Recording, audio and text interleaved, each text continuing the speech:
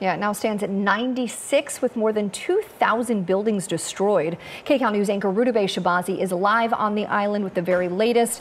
And Rudabeh, what are some of the main things emergency crews are focusing on this morning? Well, right now there are still about a thousand people unaccounted for, and so that is the main concern. Identifying victims, hoping to find anyone who might still be alive, any survivors there. That is the main concern right now. So they are taking dogs into the Lahaina area, into Ground Zero. They are also sending crews in on this recovery effort, but it is a, a, very dangerous effort, as you can imagine. The damage is just so extensive there. And then, of course, there is the relief effort uh, for the people who are still surviving. All right, thousands of people, obviously, Rudabeh, were displaced from their homes. Hundreds are still missing, as you're talking about.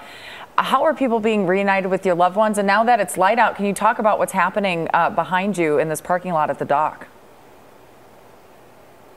Uh, what's happening behind me? So this is a dock. There are still some tourists and vacationers who come out. They still take uh, some charters out. So we've seen some of that. It's kind of an odd juxtaposition versus what's actually happening with all of the supply uh, and relief that's going out. That usually happens a little bit later in the day. But uh, when the sun starts coming out, people immediately start bringing relief items. They're bringing water. They're bringing baby food, gasoline, food, every kind of item you can imagine. They bring it here to the dock by the truckload. Uh, these organizations and, and efforts are started elsewhere. Then they bring it to the dock. And then people, after some of the charter boats, even they take tourists out in the early morning and then they come back and do relief runs mm. to the west side of the island for the people who are totally cut off and, and need some sort of aid. Of course, the government is also working to do that, but people really are taking things into their own hands and helping out their fellow community members as well.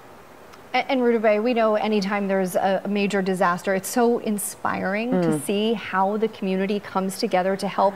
Can you talk a little bit about what you've seen as far as that?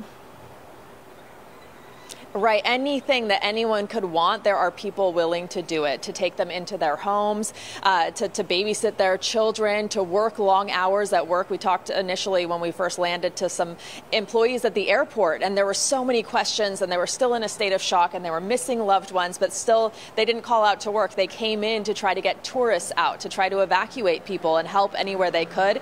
And I think that, you know, especially in this instance, you see that that of can be a, a coping mechanism for people to help others in a time of need uh, and to really step up and, and be thrown into action. So they are taking in refugees, which is what they are basically at this point. The airlines have increased flights to try to get people out. They lowered the prices. The hotels have opened their doors and are filling uh, filling up with evacuees as well as the the big stadium. And there are several Red Cross shelters set up, and then all of the churches are taking donations and opening their doors for people as well. So there's a huge outpouring of support. And then everyone doing everything they can, donating what's left in their cupboards, coming in and volunteering, organizing food, taking food by boat uh, to the people who are isolated on the other side of the island.